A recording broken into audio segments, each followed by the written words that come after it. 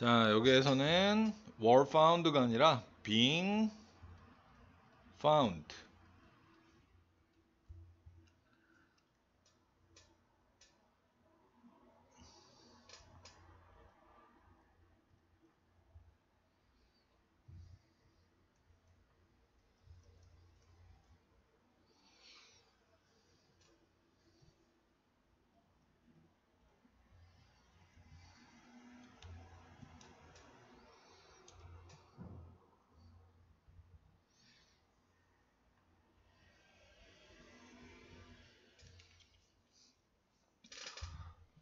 자, 여기에서는 여기에서의 댐은 어 여기는 인센티브를 이야기하는 거죠. 요, 인- 요 댐 사브는 강조 용법이에요. 제기 대명사의 강조 용법. 제기 대명사의 강조 용법은 제기 대명사가 목적어 자리에 쓰이지 않을 때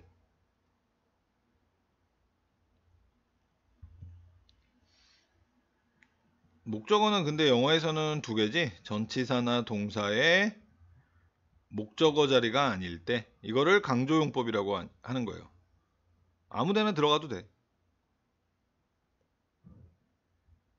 그래서 보통은 그 강조하는 명사 바로 뒤에 붙어주는데 인센티브 그 자체에 반응합니다. 이렇게 된 거고요. 요거는 이제 전치사 뒤잖아. 전치사 뒤. 목적어 자리인데 사람이랑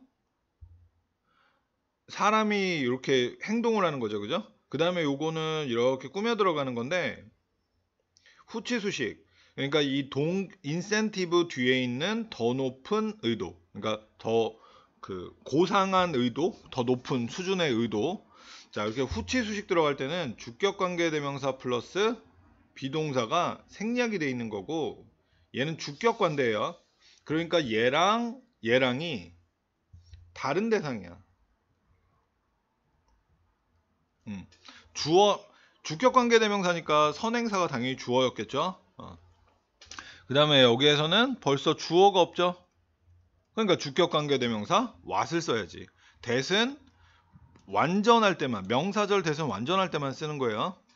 자, 그 다음에 여기에는 인센티브가 제공되었다. 보상이 제공되었다.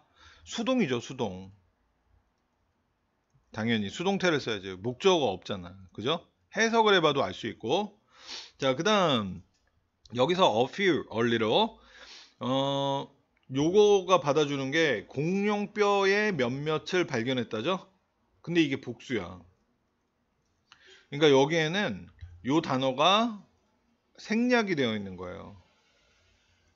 근데 얘가 복수인데 few는 복수 개념이랑 쓰이고 little은 단수 개념이랑 쓰이기 때문에 여기에 명사가 없어도 그것까지 생각해서 문제를 풀어줬어야 됩니다.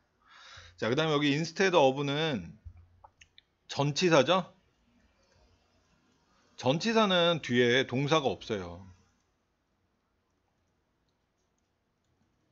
그래서 많은 추가적인 스크롤들이 발견되는 것 대신에 이렇게 해석은 되는데 엄밀하게 그러니까 이제 그냥 후치 수식으로 이렇게 들어가도 상관이 없어. 이 스크롤 추가적인 이 그러니까 스크롤은 여기서 그 4의 4번을 얘기하는 거고요.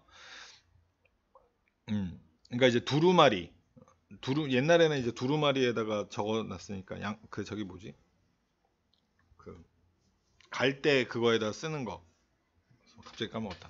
자, 요거는 실제적으로는 이 전치사가 이거고 여기가 전치사의 목적어고 의 목적어 동명사고요.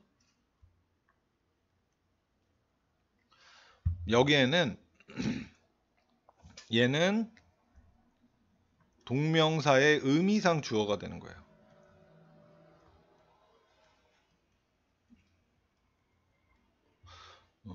근데 후치 수식으로 해석해도 그냥 그냥 상관은 없어요. 정확한 해석은 많은 추가적인 스크롤들이 주어니까 주격으로 들이 발견되어지는 것 대신에